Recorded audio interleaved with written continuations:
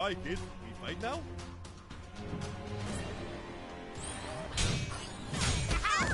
Hey, assholes! Come mess with Call and leave the kite alone.